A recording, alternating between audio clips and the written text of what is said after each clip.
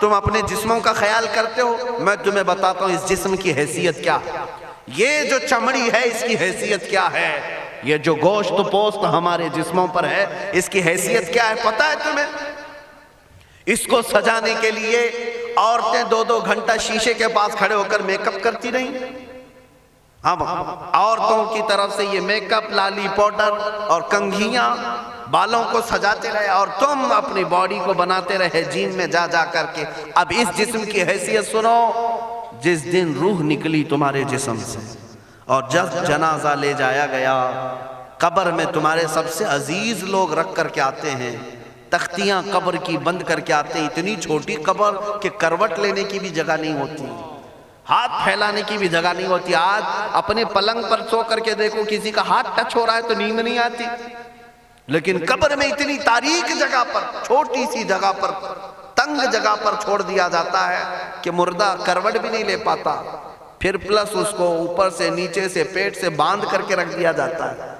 तुम्हें पता है, अब हुक्मा ने जो लिखा है, वो सुनो बुज़ुर्गों ने, जैसे ही तीसरा दिन आता है, तुम्हारी कब्र की ज़िंदगी का, जब तीन दिन गुजरते हैं, तुम्हारी नाक के ज़रिए से पेट की चीज़ें बाहर आने लगती हैं।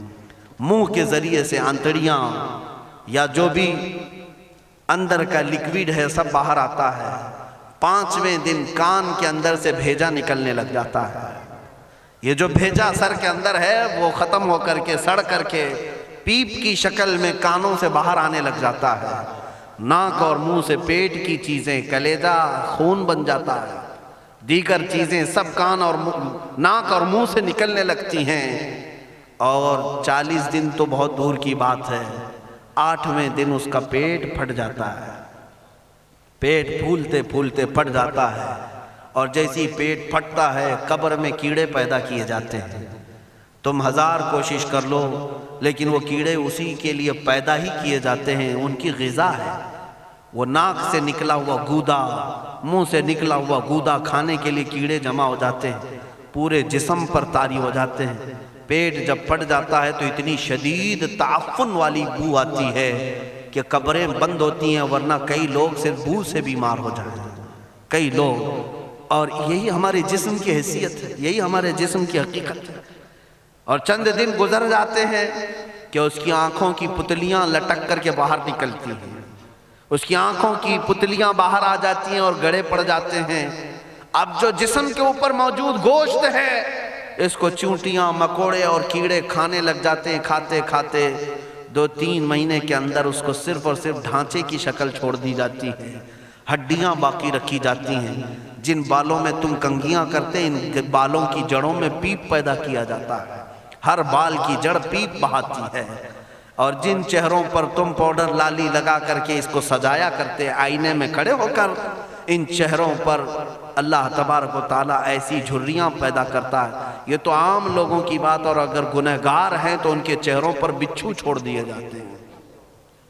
बिच्छू छोड़ दिए जाते हैं। कई लोगों की कब्रों पर सांप, उनकी नाक को डसते रहते हैं, और उनका गूदा पीते रहते हैं। सांपों का अजाब, बिच्छुओं का अजाब, या कब्र के अजाब के साथ ये जिसम गला दिया जाता है। हड्डियों के सिवा कुछ नहीं बाकी रहता। तुम क्या समझते हो, मरने के बाद एहसास नहीं होगा? मरने के बाद हर दर्द का एहसास दुगना कर दिया जाएगा। आज ज़िंदगी में जितना तुम्हें चूंटी काटने से दर्द होता है, मरने के बाद ये दर्द दस गुना ज़्यादा बढ़ जाएगा। तुम्हें और दर्द होगा, और दर्द होगा। यही जिस्म जो कीड़ों की गजा बन गया, कफन खत्म हो गया। हमारे जिस्म में पेट का गूदा बाहर आ गया। आँखों से, कानों से सारी चीज़ें लिक्विड खत्म कर दी गई। भेजा कानों से बह करके निकल आया। बचा क्या हमारे पास? जिस जिस्म को हम सजाते रहे, संवारते रहे, इस पर हज़ारों पैसे बहाते रहे, ये जिस्म चालीस दिन के अंदर कीड़ों की गजा बन गया। सब खत्म हो गया। मेरे अजीजों, हर इंसान के जिस्म के साथ कबर यही करती है। कबर दबाती अलग है, कीड़ों का अजाब अलग है, बिच्छुओं का अजाब अलग है। लेकिन ये सब के लिए काम नहीं। कुछ वो भी जनाजे हैं, जब यहाँ से जाते हैं तो हज़ारों की आँखों में आँसू छोड़ कर जाते हैं। हज़ारों की दिलों की धड़कन बन करके जाते हैं। उनके जनाजे जब जाते हैं तो अल्लाह के मलाइका भी, फरिश्ते भी उनके जनाजे को उठाने के लिए ज़मीन पर आते हैं। ये कौन लोग हैं? जो अपने सीनों में इश्क मुस्तफ़ा की शमा रोशन किए हुए थे। जीना चाहते तो मुस्तफ़ा के लिए, मरना चाहते तो मुस्तफ़ा के लिए। फाजिल बरेलवी ने क्या खूब कहा, लहद में इश्क शह, इश्क रुख शह का दाग लेके चले। अंधेरी रात सुनी थी, चराग लेके चले। जब कब्र में जाता है एक आशिक रसूल, उसे रखा जाता है। कफन इसका भी है, जिसम इसका भी है। लेकिन फरिश्तों से भी कहा जाता है, इसे आहिस्ता से जगाना मोहम्मद अरबी का गुलाम है। रसूल पाक का वफादार है और कीड़ों का, उसके जिसम को खाना तो दूर की बात। फरमाया गया, कयामत तक उसके कफन को भी मैला होने नहीं दिया जाता। ना तुम्हारी आँख से, ना तुम्हारे नाक से, ना तुम्हारे चेहरे से कोई गूदा बाहर आता है। कुछ नहीं मेरे अजीजों, जिसम तरो ताज़ा सलामत रखा जाता है। हज़ार साल क्या दस हज़ार साल गुजर जाएँ? हवादिस ज़माना भी आए, लेकिन उसकी कब्र में उसका जिसम सलामत रखा जाता है। अब तुम्हारे हाथ में फैसला है, कौन सा जिसम बनाना चाहते हो? वो जो कीड़ों की गजा बन जाए, या वो जिस पर फरिश्ते भी उतर कर सलाम भेजे? मैंने खुद मेरे मुर्शिद गिरामी के जनाजे में हाजिरी दी। हजूर ताजु शरिया बदर तरीक़ा रहमत जिस मर्द कलंदर ने अपनी पूरी ज़िंदगी इश्क मुस्तफ़ा में गुजारी। है आज तुम नारे लगाते हो ताजु शरिया ताजु शरिया। उनके शब रोज़ देखे थे कभी? उनकी सुबह और शामें देखी थी कभी? बहुत पीर होंगे जो बाहर पीर होंगे, अंदर पैर होंगे। लेकिन ताजु शरिया को मैंने अंदर भी देखा है, बाहर भी देखा आँखें बंद भी होती, आँखों के, आँखों से अगर कोई चीज़ नज़र भी नहीं आ रही होती, तब भी इतना ख्याल होता कि कहीं सतर तो ना खुल गया कहीं पायजामा ऊपर तो नहीं हो गया हो। सोने के हालत की बात कर रहा हूँ, कोई ना हो तब भी ये ख्याल बाकी रहता।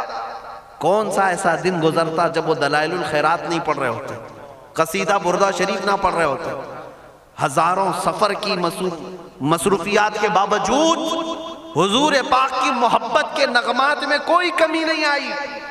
लेकिन मैं आज आपको एक बात बता दूँ। जब इंतकाल हुआ, वो जुमा की शाम थी और हमारे मुर्दों को छः घंटे, दस घंटे में हमको कब्रस्तान सुपुर्द करना पड़ता। है बारह घंटे रख दें, तब भी फ्रिज मंगवाना पड़ जाता है। इसके बाद कब्रस्तान के हवाले कर दें। मेरे मुर्शिद गिरामी के इंतकाल के बाद 48 घंटे रखे गए थे। अड़तालीस घंटे रखे गए। और उसके बाद जनाजे पाक को गसल देकर लाया गया। ये फ़कीर कादरी जनाजे की गाड़ी में शरीक रहा। हज़रत के कदम पकड़ करके मैं कब्र तक रहा।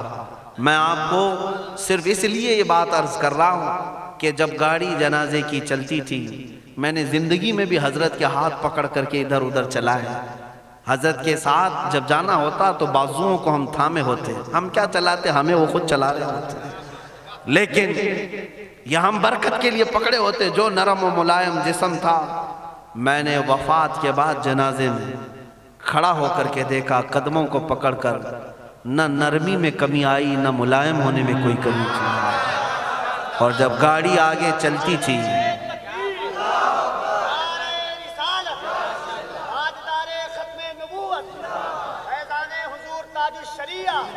जब आप गाड़ी, जनाजा जिस पर रखा हुआ था, चलती थी तो मेरे अजीज़ों, ज़िंदगी में जिस तरह जिसम नरम मुलायम था, मैंने देखा कि गाड़ी जब उसके धड़के होते थे इधर उधर तो पेट मुबारक और सीने मुबारक वैसे ही हिलता था जैसे किसी जिंदे का हिलता हाथ पर उंगली रखें तो खून सरक जाए और फिर अपनी जगह पर आ जाए।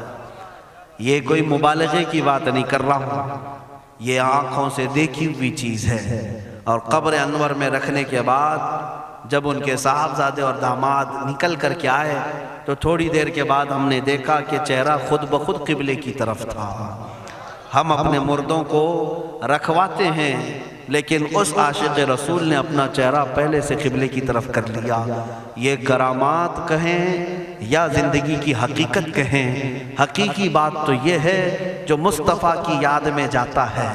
उसने क्या ही खूब कहा शायर के, मेरे जनाजे पे रोने वालों, फरेब में हो बगौर देखो।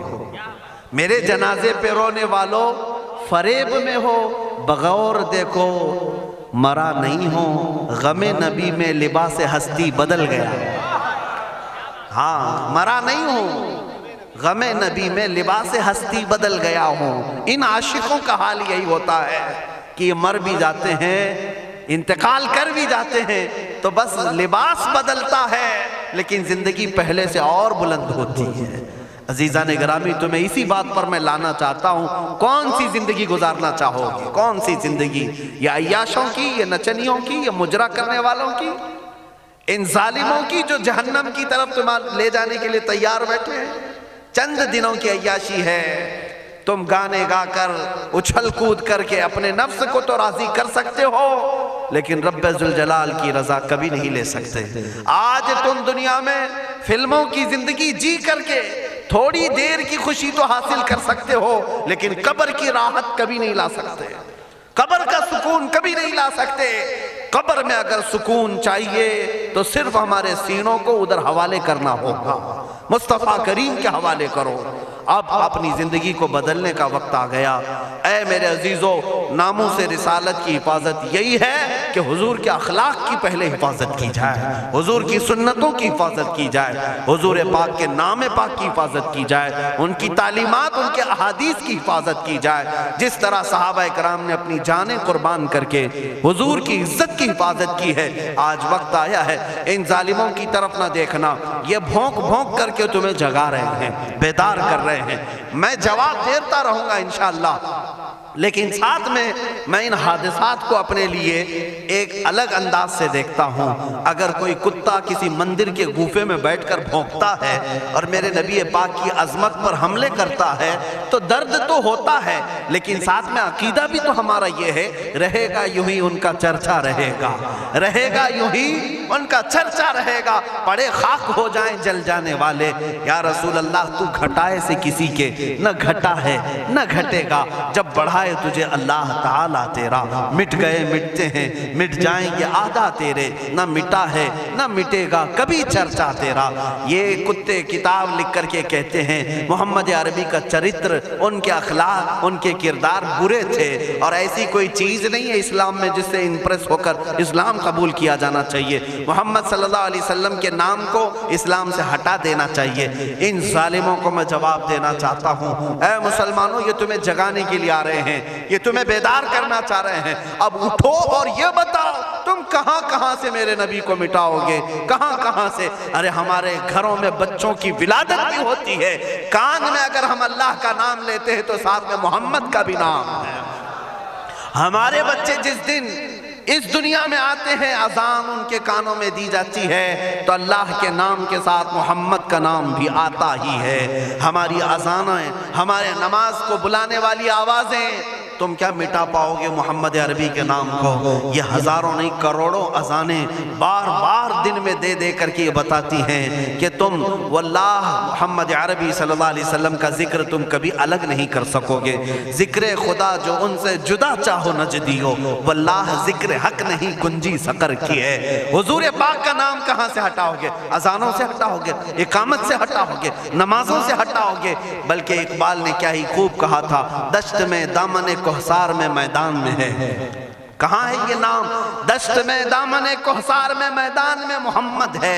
बहर में मौज की आगोश में तूफ़ान में मोहम्मद है। चीन के शरा शहर मराकश के बयाबान में मोहम्मद है और पोशीदा हर मुसलमान के ईमान में मोहम्मद है। मैंने ये तब्दील करके इसीलिए पढ़ा है कि हर जगह मोहम्मद है। रसूल पाक सल्लल्लाहु अलैहि वसल्लम को तुम कहाँ से हटाओगे? हमारे करोड़ों की जिंदगियाँ उस नाम पाक पर कुर्बान उस नाम पाक पर कुर्बान। इन जालिमों को ये बात बता देना, इस नाम पाक पर अल्लाह ने नुकता तक नहीं रखा है। मोहम्मद अरबी सल्लल्लाहु अलैहि वसल्लम के नाम पाक पर नुक्ता तक नहीं आए तो बहुत दूर की बात है। और मिटाने की बात करते हो, मिटाने के लिए तुम इसका एक लफ्ज तक नहीं मिटा पाओगे। मोहम्मद अरबी उस अजीम हस्ती का नाम है, जिसकी जड़ें तहतुसरा में हैं, जिसकी शाखें औज सुरैया पर हैं। हुजूर पाक सल्लल्लाहु अलैहि वसल्लम को अल्लाह ने, रफ़ाना लका ज़िक्र कह करके बुलंद फरमा दिया है। किसी के घटाने से हुजूर का नाम कभी नहीं घटेगा। मैं अजमत मुस्तफ़ा के लिए बारगाह आला हज़रत की, का सहारा लेते हुए मुसलमानों, तुमसे ये बात कहना चाहूँगा। बतला दो गुस्ताख नबी को। गैरत सुन्नी ज़िंदा है। उनके नाम पे मर मिटने का जज्बा कल भी था और आज भी है। तुम भोगते रहो मेरे नबी की शान पर और हम सुन्नी कहते रहेंगे, सबसे आला व औला मोहम्मद मोहम्मद है। सबसे औला व आला मोहम्मद मोहम्मद है। सबसे बाला वो वाला मोहम्मद मोहम्मद है। दोनों आलम का दूल्हा मोहम्मद मोहम्मद है। अपने मौला का प्यारा मोहम्मद मोहम्मद है। बुझ गई जिसके आगे सभी मशाले शमा वो लेकर आया मोहम्मद मोहम्मद है। खल्क से औलिया औलिया से रसुल और रसूलों से आला मोहम्मद मोहम्मद है। मुल्क कौनैन में अंबिया ताजदार। ताजदारों का आका मोहम्मद मोहम्मद है। जिसके तलवों का धुवन है आबे हयात है, वो जाने मसीहा मोहम्मद मोहम्मद है। सब चमक वाले उजलों में चमका किए। अंधे शीशों में चमका मोहम्मद मोहम्मद है। सारे ऊंचों से ऊँचा, समझिए जिसे है, उस ऊँचे से ऊँचा मोहम्मद मोहम्मद है। सारे अच्छों से अच्छा समझिए। जिसे है उस अच्छे से अच्छा मोहम्मद मोहम्मद है। गमजदों को मुजदा दीजिए कि है। बेकसों बेकसों का सहारा मोहम्मद मोहम्मद है। मैं मानता हूँ अकल वालों, मेरा मोहम्मद खुदा नहीं है, मगर दिलों में ये नक्श कर लो कि वो खुदा से जुदा नहीं है। कहीं पर तुम अलग नहीं कर सकोगे। मोहम्मद सल्लल्लाहु अलैहि वसल्लम के नाम पाक को अल्लाह ताला ने हर जगह रकम फरमाया है। जन्नत के दरवाज़ों पर, अरशो कुर्सी, लोहो कलम पर, आसमानों के हर दरवाजे पर मोहम्मद अरबी का नाम रकम है। दुनिया के हर गोशे में वो नाम पाक मौजूद है। हो ना ये फूल तो बुलबुल का तरन्नुम भी ना हो, चमन दहर में कलियों का तबस्सुम भी ना हो। हो न ये साकी तो मैं भी ना हो, खुम भी ना हो बस में तोहीद दुनिया में ना हो, तुम भी ना हो। खीम अफलाक का इस्तादा उसी नाम से है, नबज हस्ती तपश आमादा उसी नाम से है। वो जो न थे तो कुछ न था, वो जो न हो तो कुछ न हो। जान है वो जहान की, और जान है तो जहान है। बस आखिर में मेरा यही मशवरा सबसे है कि मोहम्मद से वफा तूने तो हम तेरे हैं। ये जहाँ चीज़ है क्या? लहो कलम तेरे हैं। उठो कुत इश्क से हर पस्त को बाला कर दो। दहर में नाम मोहम्मद से उजाला कर दो। मौला करीम इस जलसे पाक को अपनी बारगाह में कबूलियत आम अता फरमाए। मैं तमाम हाजरीन का शुक्रगुजार हूँ और आप सबको ये नसीहत करता जाता हूँ कि आप ज़माना तुम्हारी कुर्बानियों के इंतज़ार में है और तुम्हारी कुर्बानियाँ अगली नस्लों के लिए भी और तुम्हारी आखिरत के लिए भी रंग लाएँगी। आप कुर्बानी देने के लिए तैयार हैं? कभी किसी से खौफ नहीं खाएँगे। किसी चीज़ से नहीं डरेंगे? हम तख्ते दार पर भी चूम करके चढ़ेंगे? हाँ अब मैं यही कहता हूँ, बातिल से हम टकराएँगे नामों से रिसालत की खातिर। बातिल से हम टकराएँगे नामों से रिसालत की खातिर, मारेंगे या मर जाएँगे नामों से रिसालत की खातिर। हाँ जो तख्त नशी है वो भी सुन लें, तोहीन नबी के मुजरिम को। जो तख्त नशी है वो भी सुन लें, तोहीन नबी के मुजरिम को हम दार पर ले आएँगे नामों से रिसालत की खातिर। हम दार पर ले आएँगे नामों से रिसालत की खातिर। ज़िंदा नहीं बचने पाएगा गुस्ताख रसूल किसी सूरत। ज़िंदा नहीं बचने पाएगा गुस्ताख रसूल किसी सूरत। उसे हम दोजख में पहुंचाएँगे नामों से रिसालत की खातिर। उसे हम दोजख में पहुंचाएँगे। नामों से रिसालत की खातिर तोहन रिसालत होगी तो शम नबूवत के परवाने। तोहन रिसालत होगी तो शम नबूवत के परवाने तागूतों से टकराएँगे नामों से रिसालत की खातिर। तागूतों से टकराएँगे नामों से रिसालत की खातिर। आखिरी शेर उसका यह है, जो शख्स करेगा हमदर्दी। समझ करके चले।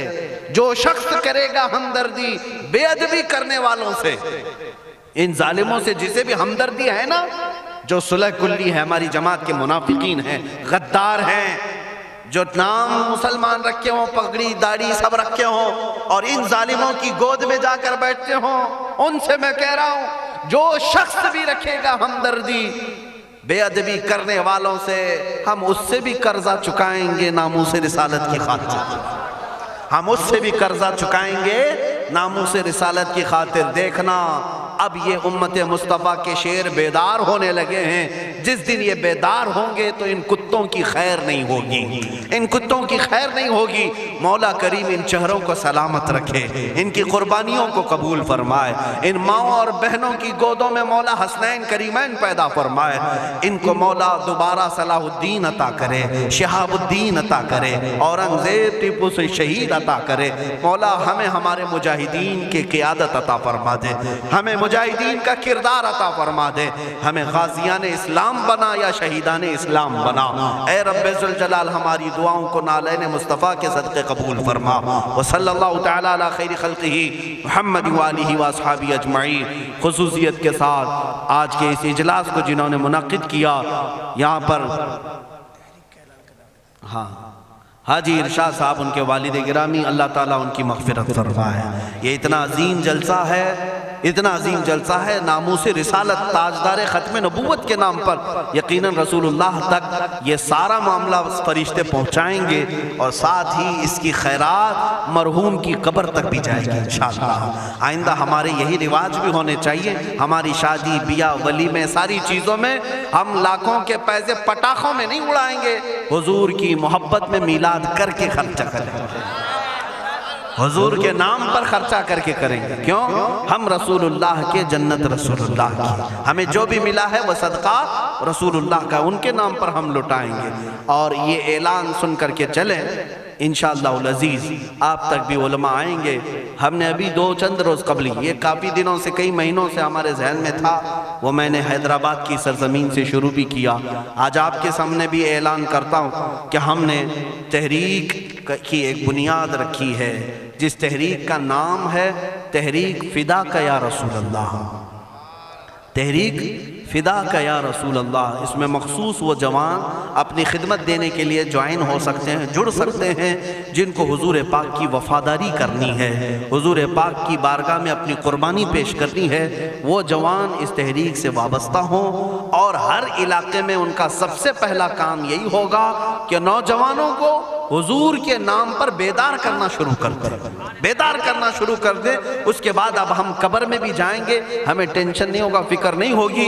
इसलिए कि उम्मत जाग चुकी होगी और कर्जा ले रही होगी। इनशाला ये अपना कर्जा उतार रही होगी। अगरचे हम कब्र में भी जाएँगे। लेकिन आपके लिए सिर्फ़ ज़िम्मेदारी इतनी है कि अब बेदार करने के लिए इस तहरीक से वाबस्ता हो और बात करेंगे तो सिर्फ़ हुजूर की बात करेंगे। और स्टेज वालों से भी मैं कहता हूँ, शोरा से भी मैं कहता हूँ, हमारी तारीफ़ कम कर दें थोड़ी सी। हमारे लिए नारे लगाना कम कर दें। अब ये ख़त्म करें इस रिवाज को। अब इस मिंबर से भी अगर कोई बात होगी तो सिर्फ़ रसूलुल्लाह की बात क्योंकि जब बादशाह हमारे पास है तो वजीरों की बात क्या करें? बादशाह है रसूलुल्लाह की जात। तारीफ़ होगी तो सिर्फ़ रसूलुल्लाह की होगी। हमारी तारीफ़ मैं अपने मुतालिक कर रहा हूँ। बाकी आप दूसरे अम्मा इकराम का ज़रूर नारा लगाएँ। अल्लाह अजहरी साहब आएँ, ज़रूर नारा लगाएँ, इस्तेकबाल करें। मैं अपनी जानब से मेरे मुतालिक कहता हूँ, मैं तारीफ़ के काबिल नहीं। जब हुजूर की शान में गालियाँ दी जा रही हों और हम अपनी इज़्ज़त करवा रहे हैं, ये हमें जेब नहीं देता। ये मुझे जेब नहीं देता, इसलिए अब नारा भी लगे तो सिर्फ़ रसूलुल्लाह के नाम का लगे। हुजूर पाक की इज़्ज़त का। और आला हज़रत ने भी हमें यही सिखाया है। हश्र तक डालेंगे हम। पैदाइश मौला की धूम। मिसले फारस नजद के किले गिराते जाएँगे। खाक हो जाए अदू जलकर, मगर हम तो रजा दम में जब तक दम है ज़िक्र उनका सुनाते जाएँगे किसका? उनका, हुजूर का ज़िक्र करते रहेंगे। आला हज़रत का मिशन यही था, उनका मसलक भी यही था। उन्हें जाना, उन्हें माना, न रखा गैर से काम। हमद, में दुनिया से मुसलमान गया। आला हज़रत का कलम कभी दूसरों की तारीफ़ नहीं करता था। करोमद है अहले दुअल रजा। पड़े इस बला में मेरी बला। मैं गदा हूँ अपने करीम का। मेरा दीन पारा ना नहीं। यह आला हज़रत का मसलक है, इसी पर हम सबको कायम होना है। अब पीरों की, फकीरों की, वजीरों की, सारे लोगों की बातें अपने अपने तौर पर बाद में की जाएगी। अब बात की जाएगी तो सिर्फ़ बादशाह आज़म की की जाएगी। सिर्फ़ रसूलुल्लाह की बात करें, अल्लाह ताला आप सबको सलामत रखे। इस तहरीक को अल्लाह ताला बरकत अता फरमाए। रज़ा कमेटी को जिन्होंने बुनियाद रखा था, जैसे मौलाना रोशन जमी साहब ने मुझे खबर दी थी, रईसुल कलम अल्लामा अरशदुल कादरी साहब किबला की, यहाँ कुर्बानियाँ रही हैं। उस मर्द कलंदर की तुरबत पर मौला लाखों सलाम उतारे, लाखों रहमतें उतारे। इसलिए कि वो हमारे उम्मत के एक ऐसे आलिम थे, जिस पर आखिरी सांस तक मैं फ़ख्र करूँ तो कम है। इसलिए कि ऐसा मर्द मुजाहिद उम्मत में सौ सौ सालों में भी नहीं मिलता।